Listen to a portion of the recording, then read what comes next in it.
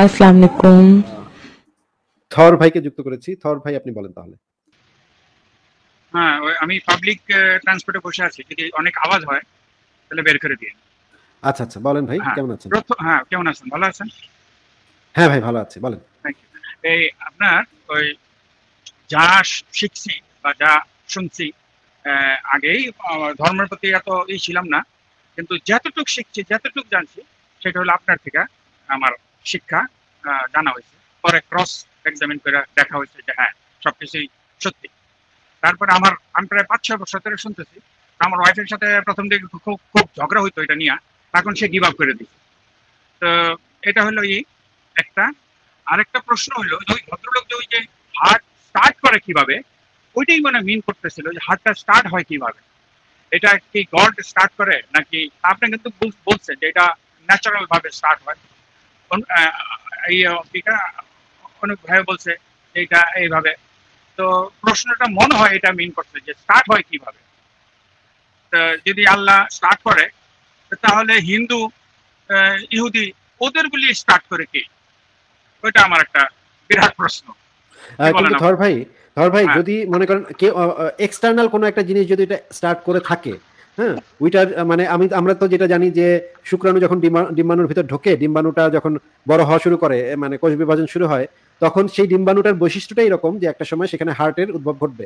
সেটা ওই কোষের বৈশিষ্ট্য হুম? হ্যাঁ, ডিম্বাণুর বৈশিষ্ট্য এটা ঠিক আছে? হয় হ্যাঁ ওইটাও কিন্তু জীবিত ওইটাও কিন্তু জীবিত তাই না? ওই হ্যাঁ, জিনিসটাও কিন্তু হ্যাঁ, জীবিত তাই না?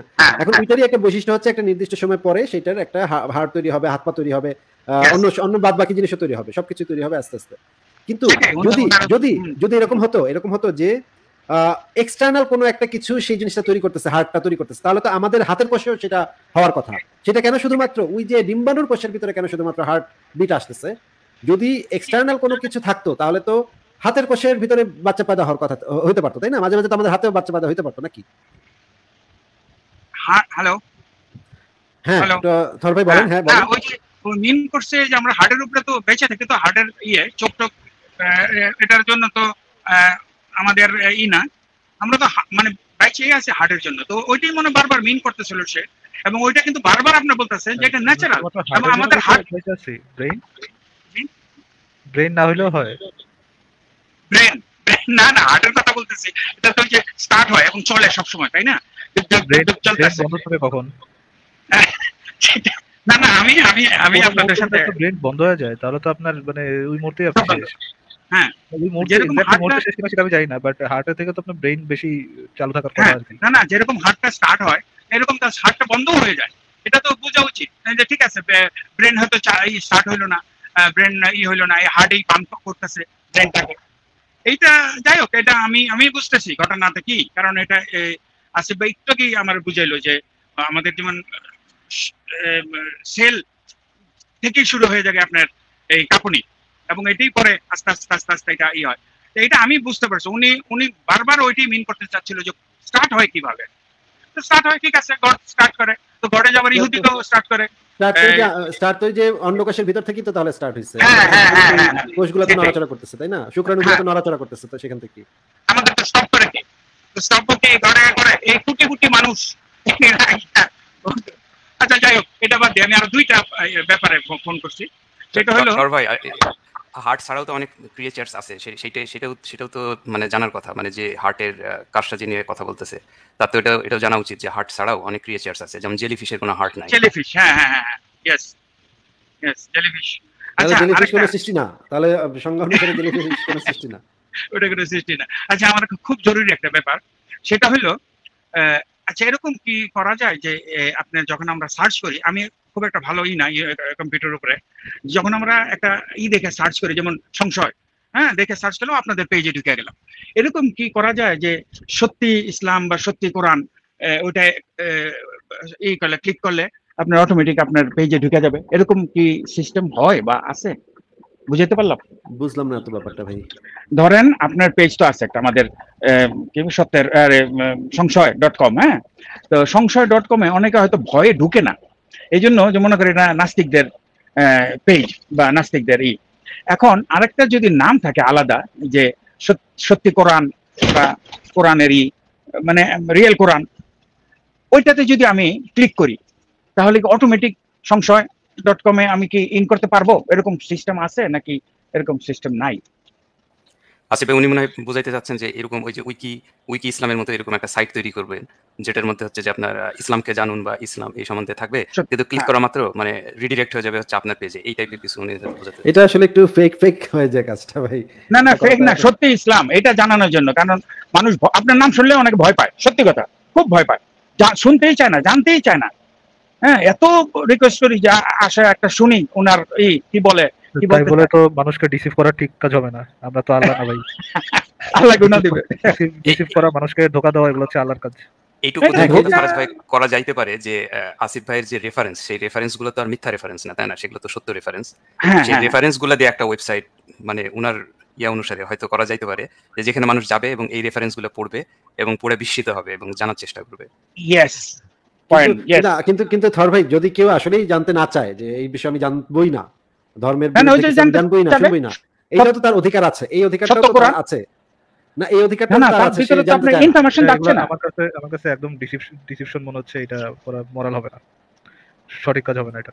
হ্যাঁ আমারও মনে হচ্ছে সঠিক কাজ হবে না। ঠিক আছে থর ভাই আজকে আর কি কিছু বলবেন আপনি? আর আরেকটা আরেক আরেকটা কথা আর একটা বলে চলে যাব। আপনার কাছে একটা আমার রিকোয়েস্ট প্রত্যেকটা অনুষ্ঠানে শেষের দিকে আপনি চ্যালেঞ্জ দিবেন যে আমি যা বলছি কোরআনে হাদিসে আমি যদি মিথ্যা কিছু বলে থাকি আমাকে আপনারা ই করবেন।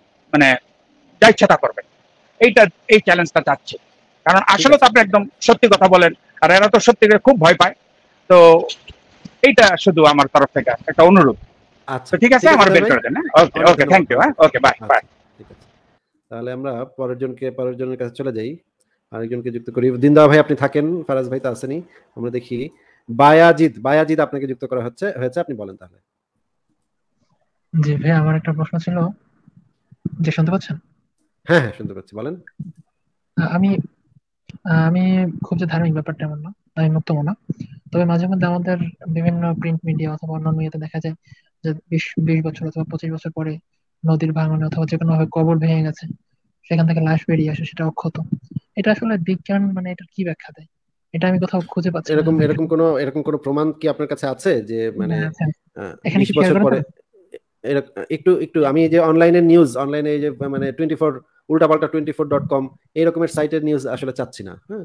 না জাগো জাগো নিউজ আছে না ওই একটা ইয়েতে? এই তো আমি ভাই এই সমস্ত Jago news Ghumao news twenty four dot com এইসব নিউজ তো আমি এইসব তো এইসব তো কোনো নিউজ না ভাই।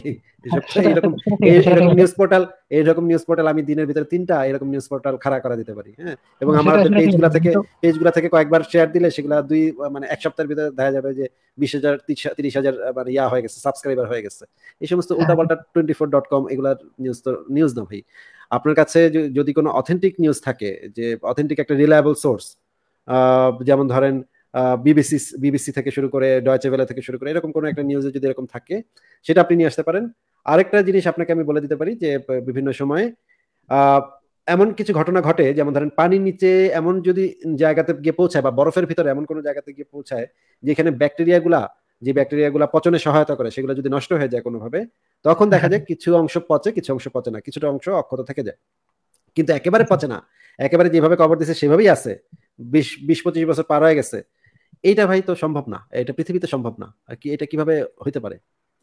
আচ্ছা আচ্ছা।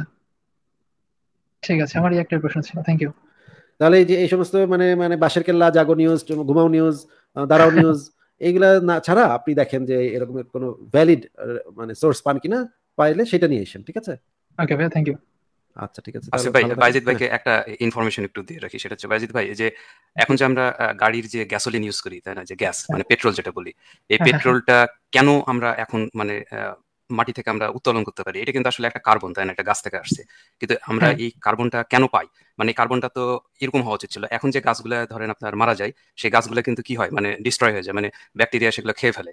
কিন্তু আমরা। যে গ্যাসোলিনটা ইউজ করি সেইটা তাহলে সেই সময় কেন এই মানে গাছগুলো নষ্ট হয়ে যায়নি?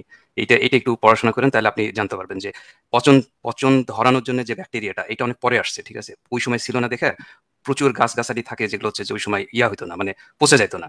এবং এগুলো হচ্ছে যে মাটির ভিতরে চলে যেত মানে ভূমিকম্প বা কোনো কারণে এবং এক্সট্রিম প্রেশারের ফলে এগুলো হচ্ছে যে আপনার আস্তে আস্তে গ্যাসোলিনে কনভার্ট হয়ে যেত, ঠিক আছে? তো এরকম হইতেই পারে, কোন একটা কোইন্সিডেন্ট হইতেই পারে, কোন একটা জায়গায় হয়তো পচনশীল ব্যাকটেরিয়ার অভাব এবং সেখানে কোন একটা প্রাণী হয়তো মারা গেছে এবং সেই প্রাণীটার হয়তো পচে নাই, ঠিক আছে? এরকম হইতেই পারে। মানে অস্বাভাবিক কিছু না। তবে যেটা হচ্ছে যে আপনার ইসলামিস্টরা যেগুলো প্রচার করে এগুলো হচ্ছে মানে ফেক এগুলা এগুলার কোনো বাস্তব ইয়া এখন হ্যাঁ, পর্যন্ত তারা। তাদের মতো মন করা মানে একটু তিলটা তাল বানায় ব্যাপারটা তাদের এমন। হ্যাঁ ঠিক আছে। হ্যাঁ একটু বলছিল ঠিক আছে থ্যাংক ইউ ঠিক আছে ভাইয়া ভালো থাকেন তাহলে। আজকে বিদায় জানাচ্ছি আপনাকে। আবার কথা হবে নিশ্চয়ই। আর